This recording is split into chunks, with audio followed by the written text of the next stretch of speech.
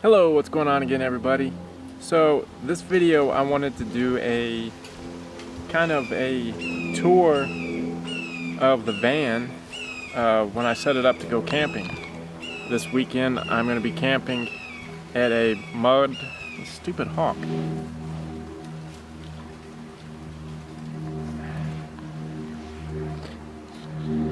Hello, what's going on again everybody? So this weekend I am doing some event coverage at a mud bog and I'm going to be camping for three days in the van. So I thought I would kind of do a quick video on how I set the van up for when I'm camping in it. So uh, let's check it out. Okay, starting outside, I always bring my little table and a chair and we got my cooler over there and there's that hawk again. And I bring this little pump I fill it up with water and I use it to wash hands. Um, and I usually bring a 10 by 10 tent that I will set up over the van to kind of keep it as cool as possible. And I usually set my chair under it as well.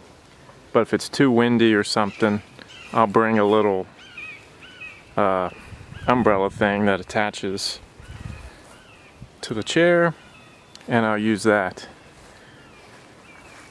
And moving on inside the van.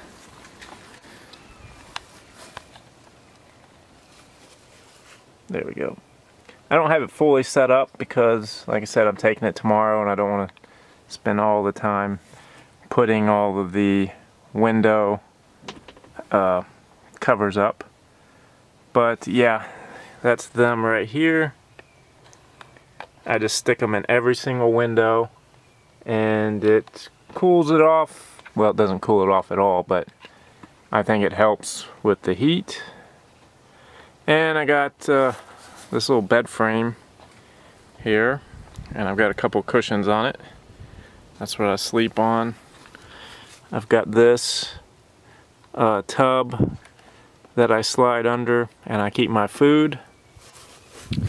And I've got this little compartment.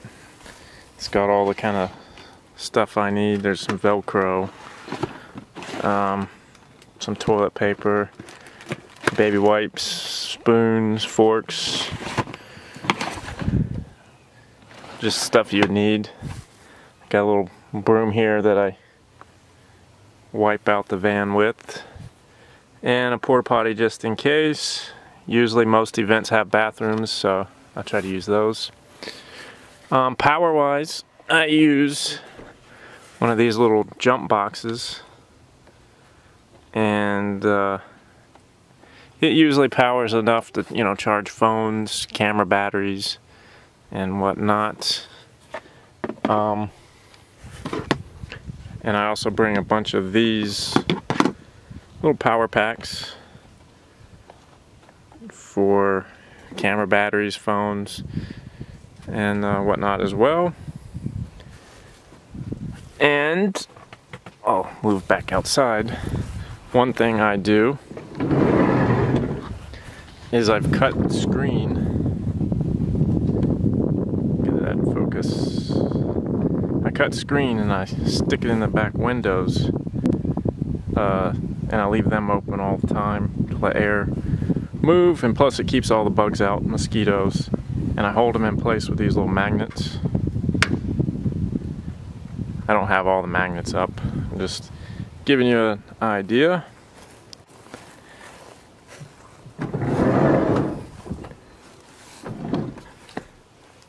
And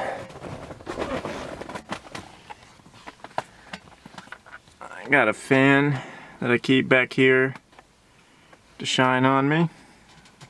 Not shine, blow air on me.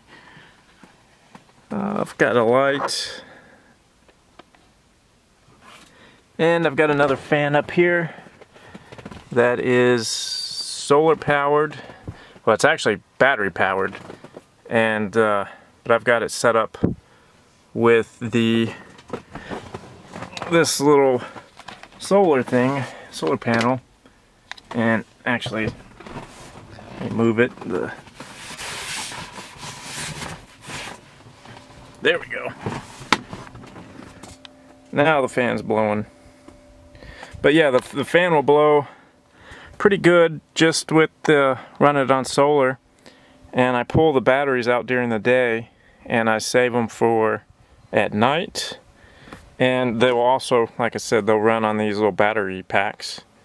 So and it'll also run off my that little jump box I got. So that's gonna be real handy. And plus I can take that outside during the day with the solar and run it and it won't eat up my batteries. But uh,